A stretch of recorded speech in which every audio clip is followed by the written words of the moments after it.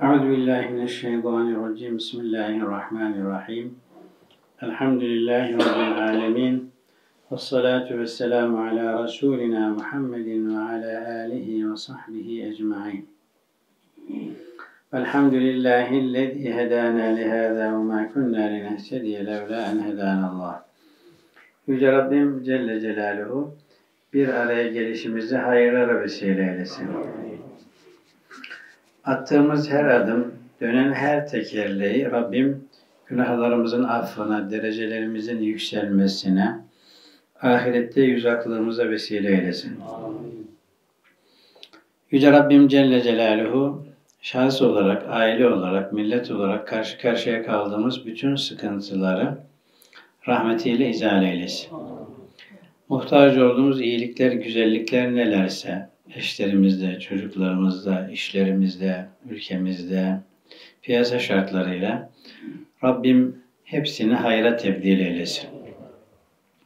Her birimizi olmamız gerektiği gibi olmaya, sonunda da imani kamil ile hazırlıklı bir şekilde ölmeye muvaffak eylesin.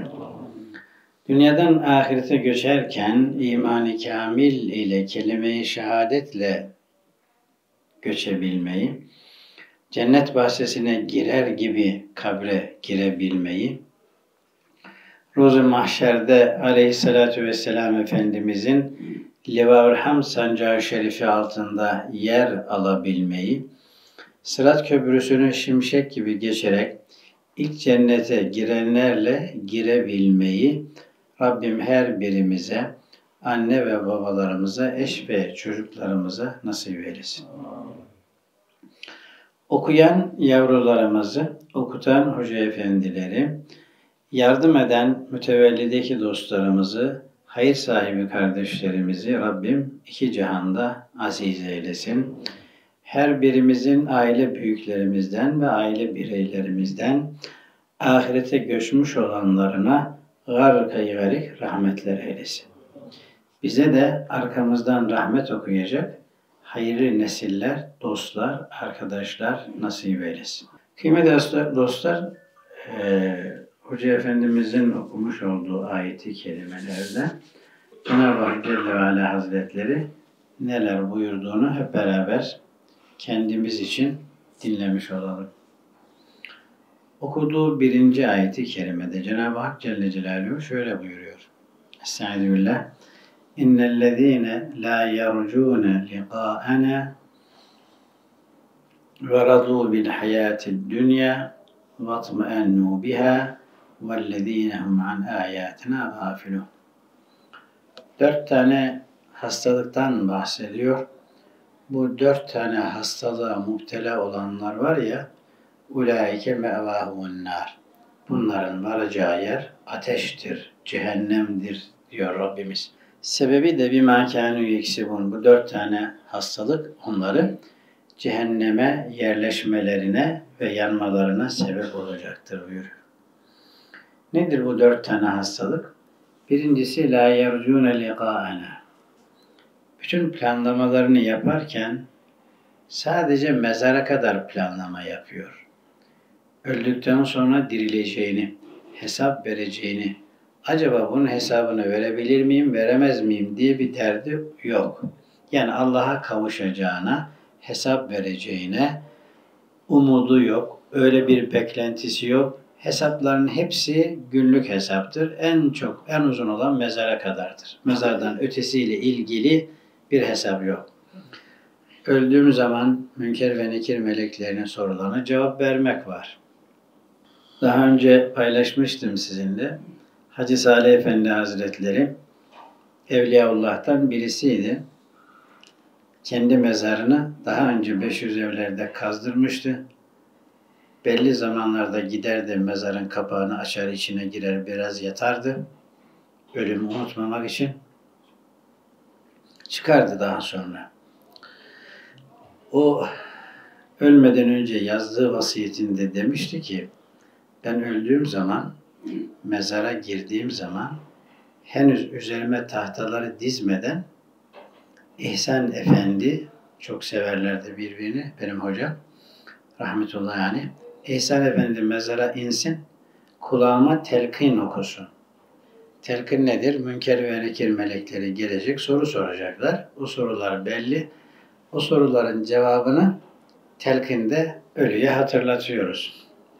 İhsan Efendi insin mezara, kulağıma telkini okusun. Ne olur ne olmaz. Sonra yukarıdan okunduğunda gürültü olur. Ya duyarım ya duymaz. işi garantiye bağlayalım dedi. Mezar kapandıktan sonra da falanca hoca efendi üst taraftan tekrar telkin okusun. İkincisi niye? Eğer üstte telkin okunmazsa içeride İhsan Efendi'nin telkin okuduğunu herkes bilmez. O zaman insanlar derler ki Hacı Salih Efendi telkin okunmadığına göre telkine gerek yok. Bir yanlış anlaşılmaya yol açmasın diye yukarıdan da bir telkin okunsun dedi. Şimdi bunun için paylaştım. Yani Hacı Salih Efendi Hazretleri hesaba çok iyi inandığı için münker ve nekir melekleriyle başlayacak soruyu baz almıştır, dertlenmiştir. Ben öldüğüm zaman falanca hoca efendi gelsin kulağıma telkini okusun. Münker ve nekir meleklerin suallerine hazırlık yapmış olayım de, demişti. Dolayısıyla ölümden sonrası ile ilgili inancı, düşüncesi, korkusu, endişesi yoksa o insan hep zevkine göre, sefasına göre hayatını tanzim eder. Haram onu korkutmaz, günah onu korkutmaz, isyan onu korkutmaz ve üzmez. Demek ki hastalıklardan birincisi nedir? Hayatı mezara kadar görmek, ötesiyle ilgili hiçbir derdi, tasası olmamak bu birinci hastalıktır. İkincisi veradu bil hayatil dünya. Dünya hayatına razı olmak. Yani dünyada maaşım, işim, evim, çocuklarım, düzen nasıl? Tamam mı? Tamamsa bir şey kalmamıştır. Dünya hayatına razıdır. Halbuki dünya hayatı ahiret hayatının yanında bir gün bile değildir. Bir gün veya bir yarım gün, bir günün bir kısmından ibarettir. Sonsuz ve ebedi olan ahiret hayatını düşünmez. Garadu bil hayatın dünya, dünya hayatına rıza gösterirler. Yani dünyada arzu ettiğine ulaştıysa tamam mutluyum, mutluyum, benim bir ihtiyacım kalmamıştır, umumu eledim, eleğimi astım der. Vatma ennu biha, dünya ile mutmain olurlar. Bir, ahiret derdi yoktur. İki, dünya hayatına razıdır. Üç, dünya hayatını bulduğu zaman mutmain oluyor. Dördüncüsü, وَالَّذ۪ينَ هُمْ عَنْ آيَاتِنَا غَافِلُونَ Biz Muhammed Mustafa sallallahu aleyhi ve sellemi gönderdik. Onunla beraber 6000 küsür ayet gönderdik. Bütün bu ayetlerle insanları irşad edelim dedik. Bizim ayetler onu hiç ilgilendirmedi. Yani telefonuna bir cevapsız arama gelse hemen ona ulaşmak ister. Ama Allah'tan gelen mesajlara, Allah'tan gelen emir ve talimata kulaklarını tıkamış, gözlerini kapatmış, bizim ayetlerimizden tamamen habersizdirler. Yani Cenab-ı Hak Celle Celaluhu dürüstlükle ilgili ne söyledi hiç bilmez.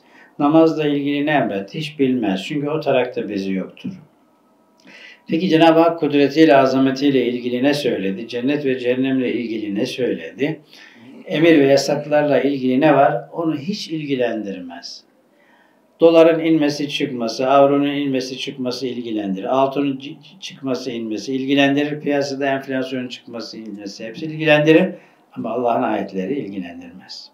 Bu da bir hastalık. Böylece beş tane hastalıktan bahsetti Cenab-ı Hak Celle Celaluhu.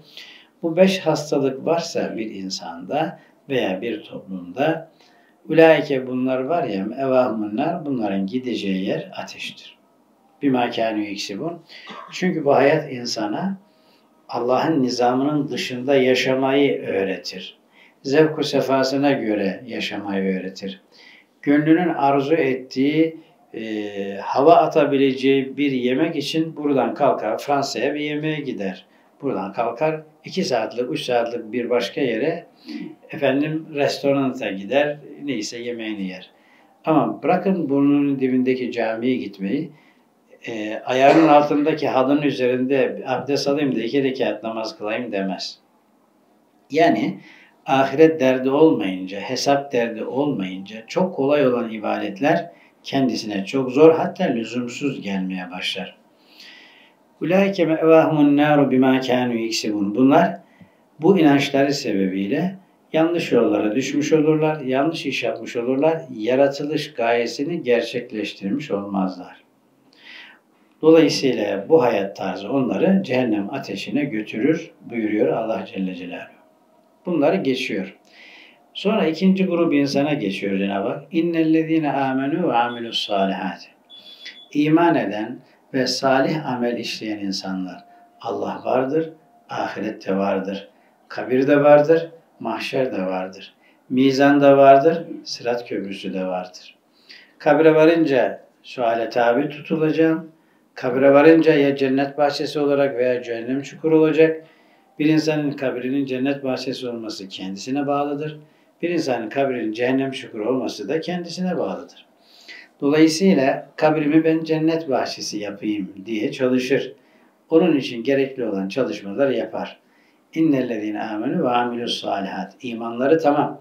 İmanların yanında inancının gereğini de yerine getiriyor. Salih amelleri gerçekleştiriyorlar. Salih amel dendiği zaman İslam'ın beş esası olmazsa olmazıdır bunların. Yani namazda, oruçta, zekatta, haçta aksaklık olmaz. Kelime-i şehadette aksaklık olmaz. Bunları yaparlar. Bunların dışında salih amel, sağ taraftaki meleğin yazacağı şeylere salih amel denir. Sol taraftaki meleğin yazacaklarına da salih olmayan amel denir. Bir insanın inancı tamsa, tavır ve davranışlarında Allah'ı kale alıyorsa, salih amel işiyorsa, bu adamın içkide bezi yok, o tarakta bezi yok. Kumarda o tarakta bezi yok. Zina tarağında bezi yok. Şeytan bunu aldatmıyor, nefis aldatmıyor. Beşerdir yanlış yapabilir. Yanlış yaptığı zaman haddini bilir, hemen tevbe eder, istiğfar eder. Allah'ım özür dilerim. Adam Aleyhisselam da yanlış yaptı. Tevbesini kabul ettin. Nice bugüne kadar yanlış yapanların tevbesini kabul ettin. Ne olursun benim de tevbemi kabul et der. U dönüşü yapar. Yehdihim rabbuhum bi imanihim. İnsan samimi imanla iman ederse, salih amellerle de hayatını düzenlerse Cenab-ı Hak onlara bu imanları sayesinde olgunluğa eriştirir, kemale eriştirir. Şimdi daha önceki derslerimizde de geçtiğini hatırlarsanız iman bir e, nurdur. Bu nur etrafında beş vakit namazla korunma altına alınır. Bir zenginliktir, bir nurdur, korunma altına alınır. E, zekatla beraber koruma altına alınır. Oruçla beraber koruma altına alınır. Haçla beraber koruma altına alınır. Bu farzları saydım. Bir de bunların vacipleriyle yeni bir koruma olur. Sünnetleriyle başka bir koruma olur. Kısacası insan salih amellere tevessül ettikçe onun imanı koruma altına alınmış oluyor. Yani bir merkez düşünün ki 40 tane duvar var ona ulaşabilmek için. 40 tane duvar var. Şimdi ona suikast yapmak veya ona ulaşmak öyle kolay değildir. Ee, eğer bir insan imanının gereği olan farzları, sünnetleri, namazıyla, orucuyla, zekatıyla, haccıyla yaparsa bu yaptığı her şey imanını koruma altına almış olur. İşte Mevla buyuruyor ki insanda iman tamam. Salih amellerde de yapılması gerekeni yaptığı takdirde biz onları kemale erdiririz. Onların imanı kemale erer, güçlenir, kuvvetlenir, sökülmesi mümkün olmaz hale gelir. Tecri min tahtihimul enhar Bunlar alt, yarın ahirette altlarından nehirler akan cennetlere yerleştirilirler. Yani bunların akıbeti nedir? Dünyada fakir, zengin, amir, memur, işçi, patron bir şekilde takdir ilahi neyse yaşarlar. Öldükleri zaman kabirleri cennet bahçesi olur yarın ahirette ebedi ve sonsuz bir hayatta altlarından nehirler akan cennetlere onları ben yerleştiririm diyor Allah Celle Celaluhu. Tecri min tahtimul enharu fi cennetin naim. Tepeden tırnağa kadar nimetlerle dolu olan o güzel cennetlerde altlarından nehirler, pınarlar akan, etrafında her türlü meyvesi, bağı, e, sebzesi olan güzelliği anlatılması mümkün olmayacak üstün kalitede olan cennetlere yerleştirir. Bir dünya ile hayatını sınırlayanlara, ahiret derdi olmayanlara ne olacağını anlattı. arkasından ahiret derdiyle dertlenen, hesap vereceğinin hesabını yapan, haramlardan uzak, farzlarla vaciplerle yaratılış gayesine uygun bir şekilde yaşayan insana nasıl muamele yapacağını Cenab-ı Hak Celle Celaluhu burada iki ayette önümüze koymuş oldu. Davahum fiha subhaneke Allahümme. Cennette ibadet var mıdır? Cennette namaz yoktur, oruç yoktur, zekat yoktur, hac yoktur. Yani mükellef olarak insanın mükellefiyeti dünyada bitiyor. Cennette bir mükellefiyet yoktur. Cennet zevk-ı sefa yeridir. Ancak cennette insanlar dua edecekler mi? Edeceklerdir. Dua ederken ne diyecekler? Subhaneke Allahümme. Davahum fiha. Onların cennetteki duaları Subhaneke Allahümme. Bu cümleyle Cenab-ı Hakk'ı tesbih ve dua edecekler. Ey bizim Allah'ımız! Biz seni bütün noksan sıfatlardan tenzih ederiz. Bize vaat ettiğini aynen vaat ettiğin gibi verdin. Dolayısıyla biz senin kudret ve azametini anlamaktan aciziz. Sen 90 sıfatlardan münezzehsin. Sübhaneke Allahümme diye tesbih edecekler. Bu tesbih görev değildir, zevk sefadır.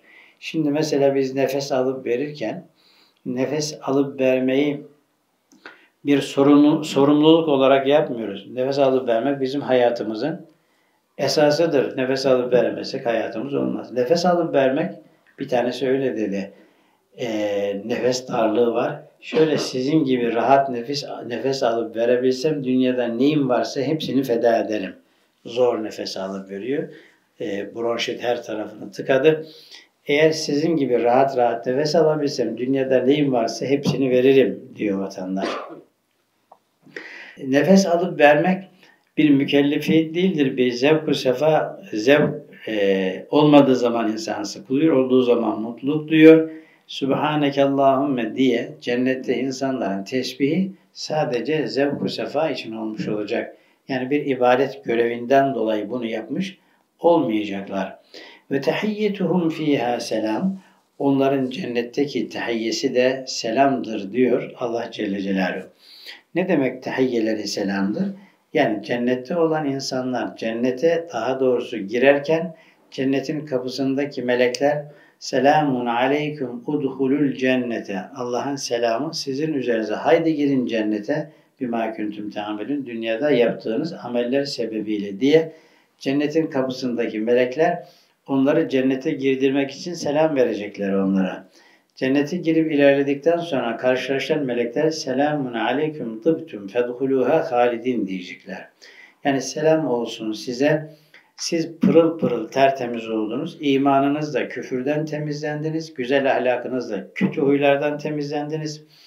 Abdest ve namazınız da günahlardan arındınız. Oruç ve diğer ibadetlerinizi, günahlarınızı sildiniz. Dolayısıyla siz pırıl pırıl tertemiz oldunuz. Pırıl pırıl tertemiz insanlar efendim pırıl pırıl tertemiz bembeyaz bir kefene büründünüz ve neticede buraya geldiniz. Geçen de ders çalışırken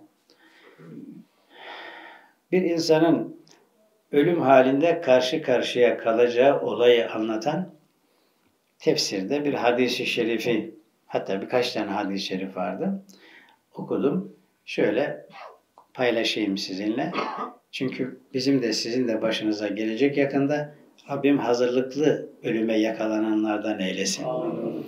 Diyor ki Peygamber Efendimiz sallallahu aleyhi ve sellem bir insan mümin öleceği zaman ölüm vakti geldiği zaman gökten iki tane melek cennetten kefenle ve cennetten kokuyla gelirler.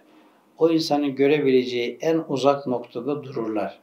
Ama o insan görüyor onları. İki tane nurani varlık orada bekliyor.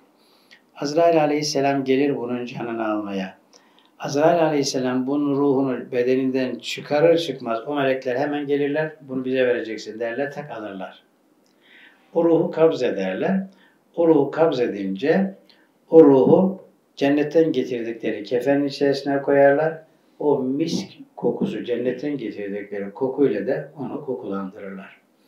Ve bunu alarak göklere doğru çıkarlar diyor Peygamber Efendimiz sallallahu aleyhi ve sellem. Birinci kat semaya yaklaştığında gökteki melekler derler ki aa yeryüzünden çok güzel bir koku geliyor. Nedir bu? Melekler kendi arasında konuşurlar.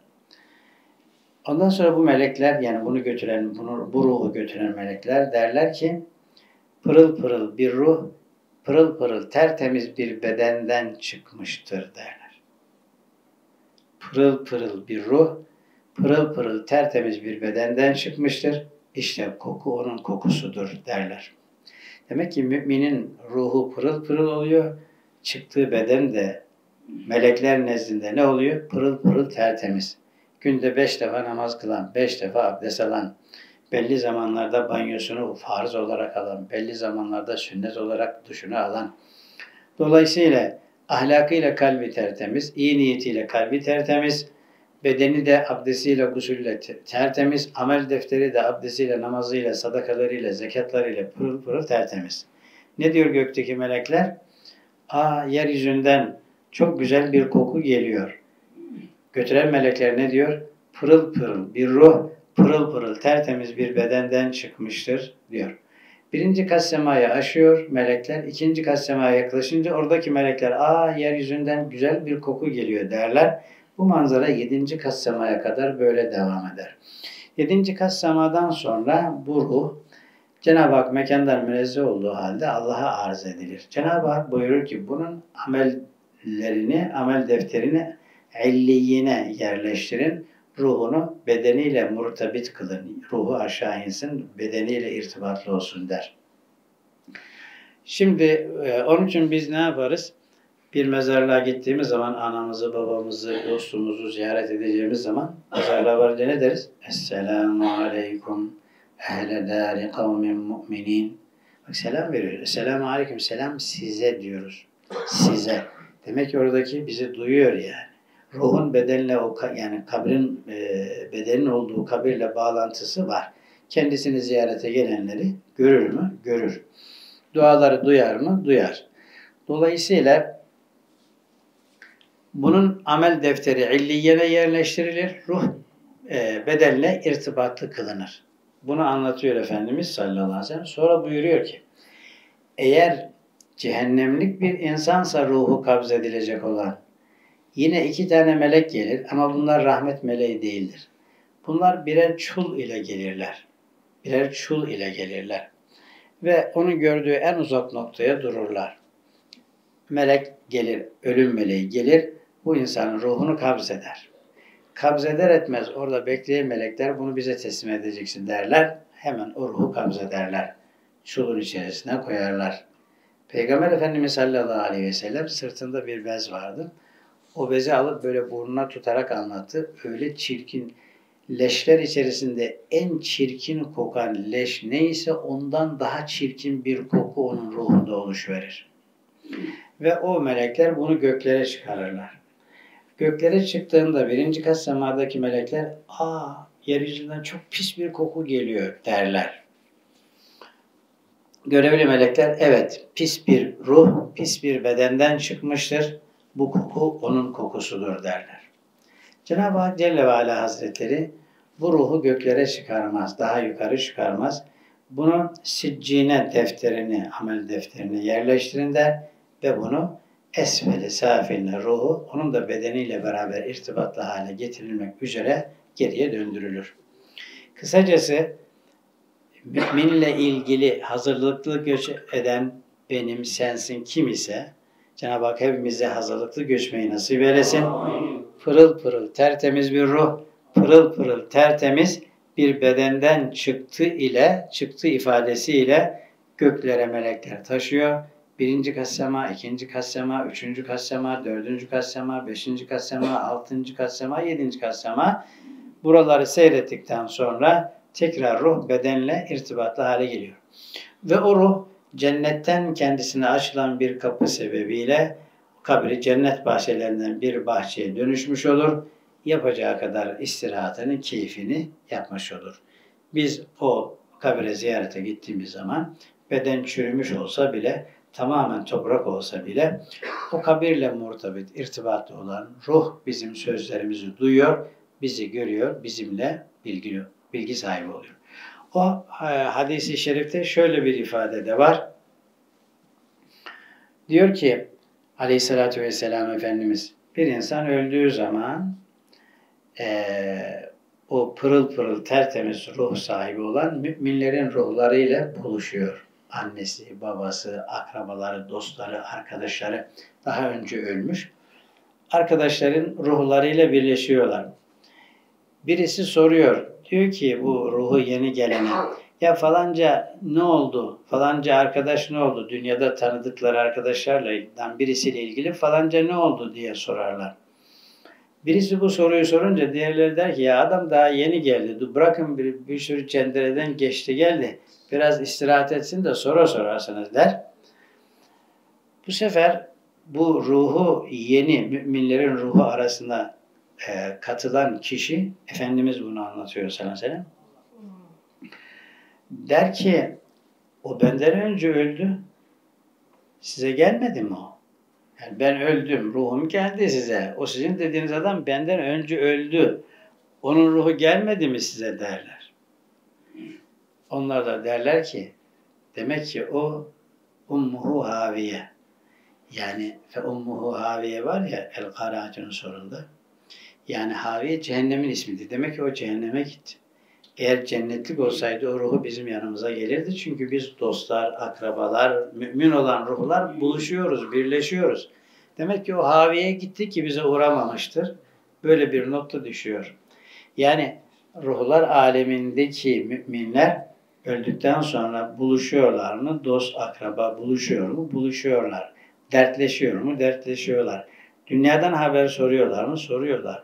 Falanca arkadaş nerede diye sorduklarında eğer o arkadaş daha önce ölmüşse o ölmüş gelmedi mi buraya diye sorunca buraya gelmediğine göre o doğrudan doğru Havi'ye gitmiştir derler. Şimdi tekrar ben okunan ayet-i kerimelere geçiyorum. Melekler ne diyorlar? Yani bu cennete giren insanların duası Subhaneke Allahümmedir. Ve tehiyyetuhum bunların tehiyyesi fiha cennete selam. Yani Cenab-ı Hak meleklerle bunlara selam verir, selam verdirir. Bu selam türleri de yine Kur'an-ı Kerim'de anlatılıyor. Selamun aleyküm udhulul cennete bima kuntum ta'melun. Yaptığınız güzel ameller sebebiyle cennete girin. Ee, hadi selam size derler melekler.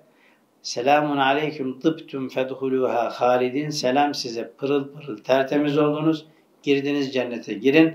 Burada ebediyseniz buradan çıkış yoktur diye selam verirler. Cennette görevli melekler gidince inşallah göreceğiz. Rabbim ilk cennete girenlerle girenlerden eylesin. Amin. Sırat köprüsünü şimşek gibi geçenlerden eylesin. Amin.